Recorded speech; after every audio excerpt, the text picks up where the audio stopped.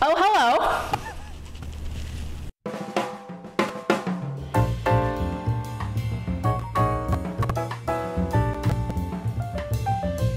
I am Jenna, and this is Jen and Tonic. If you are a cocktail drinking nerd like me, hit that subscribe button and join me for a drink.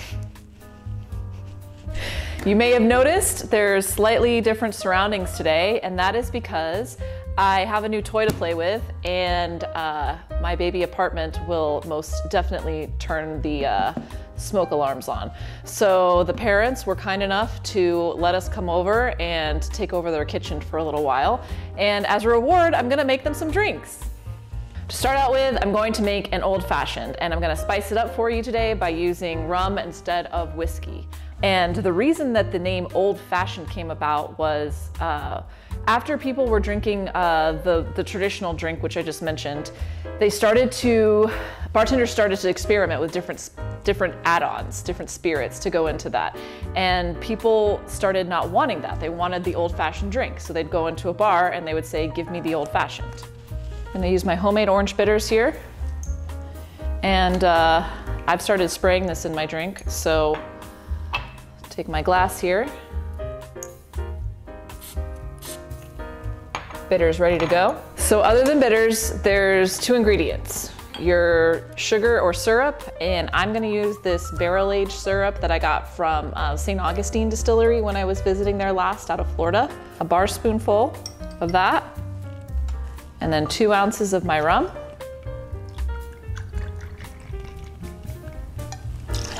Last step is to add my ice, stir it, and strain it into my glass.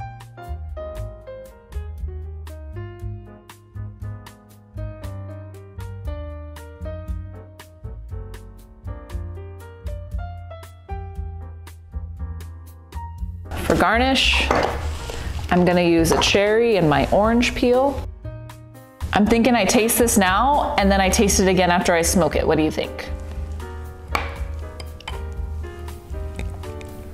So right now it smells like delicious fresh orange.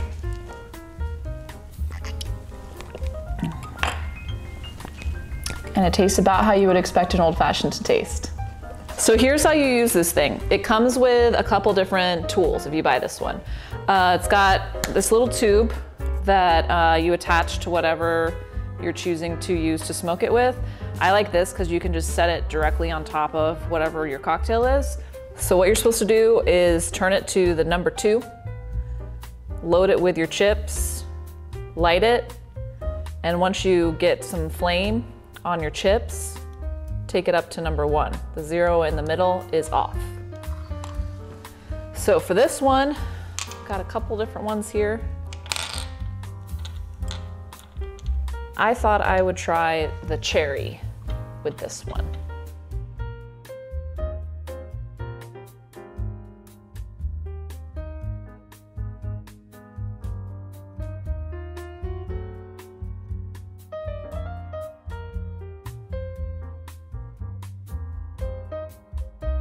So I'm gonna give it a try now that I've given it a smoke with the cherry chips. The, the, smell does change. It starts to smell like wood. If I were to say, is it cherry or hickory or peach? I don't know if I would be able to tell you that.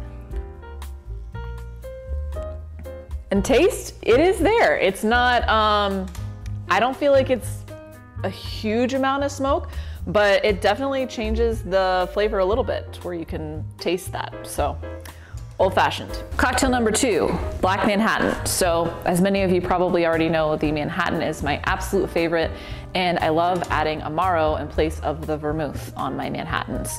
For this one, I am going to be doing the very traditional Black Manhattan recipe, which was created in 2005 at Bourbon and Branch, which is a bar in San Francisco. And that called for Averna, which is an Italian um, Amaro out of Sicily. And uh, the reason that they use this one is because it actually makes it like almost a black color when you're finished with the drink, which you'll see when I make it. So I'm gonna be using that. And then the original recipe calls for rye. I'm gonna be using the good stuff. Cool story about this place. Templeton, Iowa was a town, a uh, very small town, rail, railroad town during railroad, railway, I don't know. So this was a this was a town at the turn of the century uh, that was really small, and during Prohibition, they weren't doing well, and so they started creating this whiskey, and the whole town got into bootlegging it to help each other out. And they wouldn't call it whiskey; they called it the good stuff, and that was their code word for it. So I'm going to be using these for my drink today. Fun fact about Manhattans for you. This drink uh, is said to have been created because of Jenny Jerome, which if you don't know, that's Winston Churchill's mother.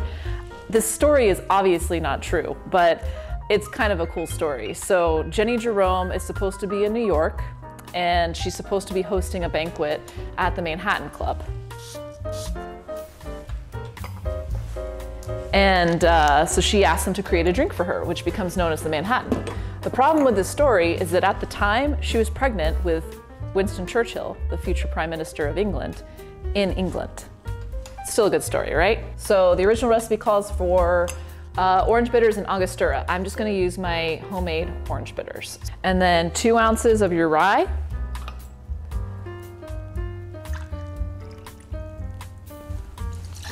And one ounce of Averna Amaro.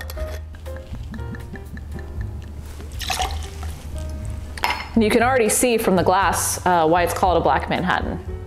Add the ice and stir. Anytime that you do a spirit forward cocktail, you don't want to shake it because the goal for this is just to chill it down.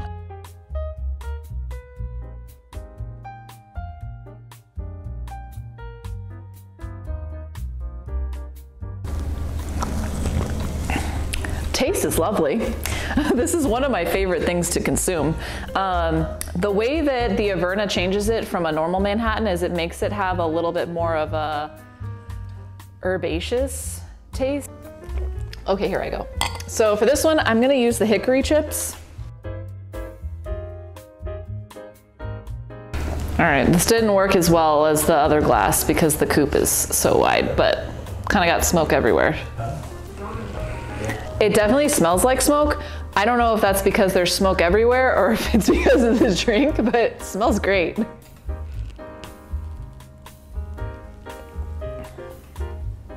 You do taste it. It's weird because it tastes a little less sweet than it tasted before.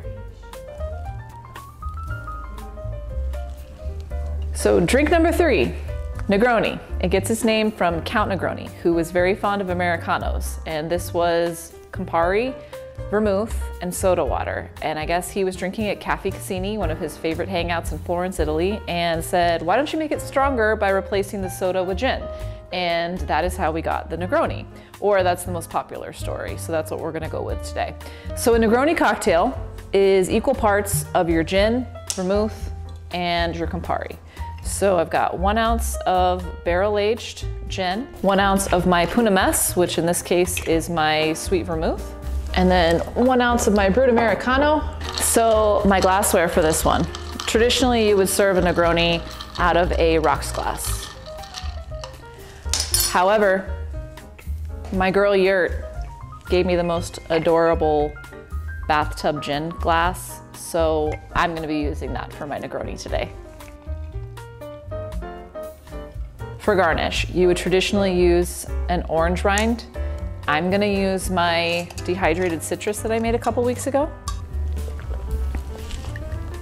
So this is delicious. I love the bitterness that you get from the Brut Americano and it's borderline a Boulevardier in taste because of the barrel-aged gin and a Boulevardier would be where you take whiskey and put it in the drink instead of gin. Time to smoke. I'm gonna use peach wood chips. I don't know how this is gonna turn out. There's nothing peach about this, but this is what I'm doing.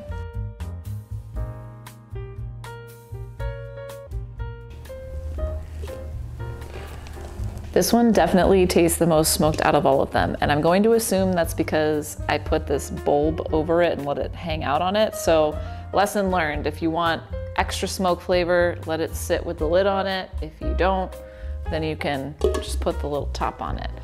Uh, but yeah, it's it smells wonderful. Again, I don't know if I necessarily am picking up peach versus hickory versus whatever.